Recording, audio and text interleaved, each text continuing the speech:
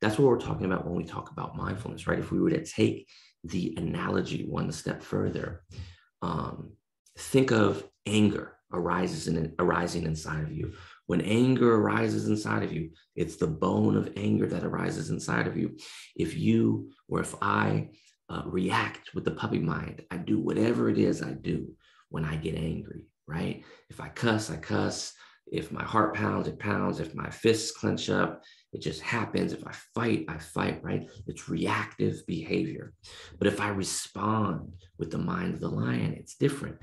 Anger arises, the bone of anger arises in my experience. And I may think to myself, I'm angry right now. Even just that thought, the thought of a meta thought, like a thought about my own experience.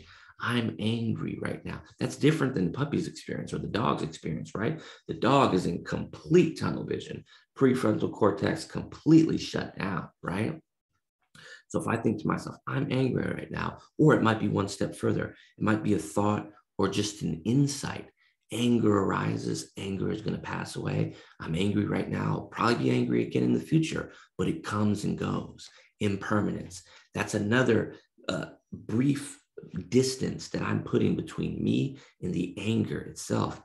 And that process is called disidentification, meaning I'm not my anger. I'm not my depression.